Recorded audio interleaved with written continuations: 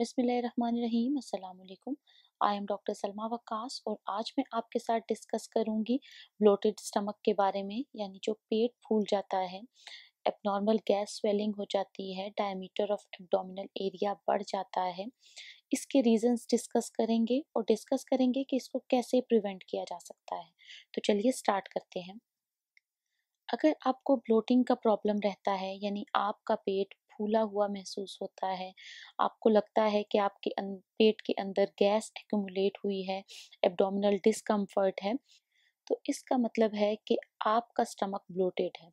Bloating की वजह से बहुत से डाइजेस्टिव डिसऑर्डर हो सकते हैं एलर्जीज का कॉज बन सकता है।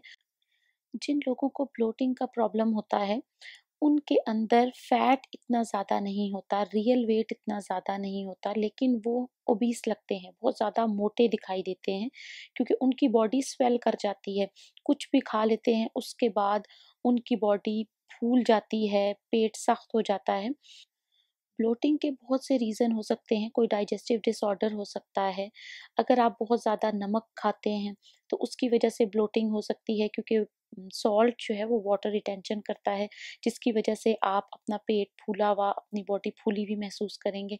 फ़ूड इंटॉलरेंस हो सकती है, हो सकता है कि एयर भरी हो आपके स्टमक के अंदर या कॉन्स्टिपेशन एक बहुत बड़ी वजह है, क्योंकि स्टूल अगर आपकी बॉडी से पास आउट नहीं होगा, वो इंटेस्टाइन में ही रहेगा तो आप डिसकम्फर्ट फील करेंगे।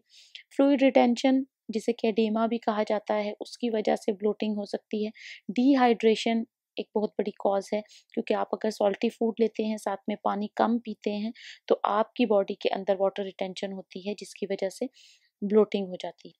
ब्लोटिंग को ख़त्म करने के लिए आप कुछ टिप्स हैं, उनको फॉलो कर सकते हैं और कुछ ऐसी रेसिपीज़ हैं जिनको यूज़ कर सकते हैं ताकि आपको ब्लोटिंग ना हो। उसमें सबसे पहले ये है कि हमेशा स्मॉलर पोर्शंस में खाएँ, बहुत ज़्यादा खाना एक वक्त में ना खाएँ।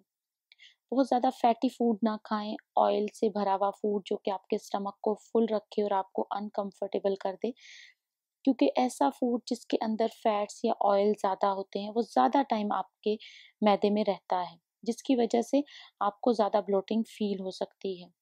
स्ट्रेस भी एक वजह बनती है ब्लोटिंग की क्योंकि इसकी वजह से डाइजेशन कम हो जाती है डाइजेशन प्रोसेस स्लो हो जाता है तो अपनी स्ट्रेस को मैनेज करना सीखें। कॉन्स्टिपेशन की वजह से ब्लोटिंग होती है, इसलिए ज़्यादा से ज़्यादा फाइबर लें अपनी डाइट में, ज़्यादा से ज़्यादा पानी पिए। खाने को अच्छी तरह चबाएँ, जितना आप खाने को चबाएँगे, उतना ज़्यादा ब्लोटिंग के चांसेस कम होंगे। स्मोकिंग को अवॉइड करें। एक्सरसाइज और फ़िज़िकल एक्टिविटी आपको ब्लोटिंग से बचा सकती है। डेली एक सर्विंग दही की ज़रूर लें। ज़्यादा से ज़्यादा पानी पिए। कार्बोनेटेड ड्रिंक्स को अवॉइड करें। ज़्यादा से ज़्यादा फ्रूट्स और वेजिटेबल्स खाएँ। अगर कोई फ़ूड खाने के बाद आपको ऐसा लगता है कि आप ज़्यादा अनकंफर्टेबल फील करते हैं, आप अपनी बॉडी को ब्लोटेड फील करते हैं तो उस फ़ूड को अवॉइड करें।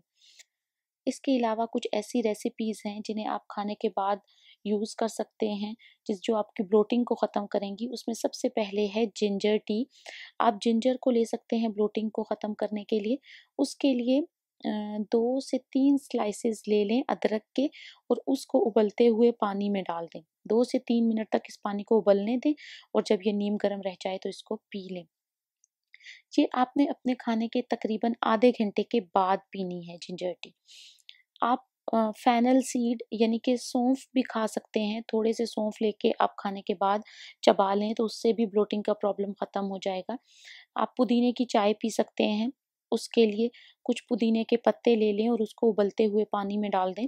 दो से तीन मिनट तक इसको उबलने दें और उसके बाद फ्लेम ऑफ़ कर दें और जब ये नीम गर्म रह जाए तो इसको आप पी लें। पुदीने की चाय भी आप अपने खाने के तकरीबन तीस मिनट के बाद लें। आप ग्रीन टी ले सकते हैं, एक टी बैग ले लें और उसको बॉइलिंग वाटर में डाल के पंद्रह से बीस सेकेंड तक उसको उसमें रहने दें और उसके बाद उस टी बैग को निकाल दें और ये भी आप खाने के तकरीबन तीस मिनट बाद ले सकते हैं। इन रेसिपीज़ को फॉलो करके आप ब्लोटिंग को ख़त्म कर सकते हैं। आपकी बॉडी के अंदर गैस एक्यूमुलेशन नहीं होगी वाटर रिटेंशन नहीं होगी, जिसकी वजह से आप स्लिम नज़र आएँगे। आपका वेट जो ब्लोटिंग की वजह से ज़्यादा दिखाई देता है, वो कभी ज़्यादा नहीं होगा और आप हेल्दी फील करेंगे लाइट फील करेंगे, जो एब्डोमिनल डिस्कम्फर्ट आप फील कर रहे थे, वो फील नहीं करेंगे। तो इन रेसिपीज़ को फॉलो करें। अगर ये वीडियो आपको इन्फॉर्मेटिव लगी हो तो इसको ज़्यादा से ज़्यादा शेयर करें and thank you for watching this video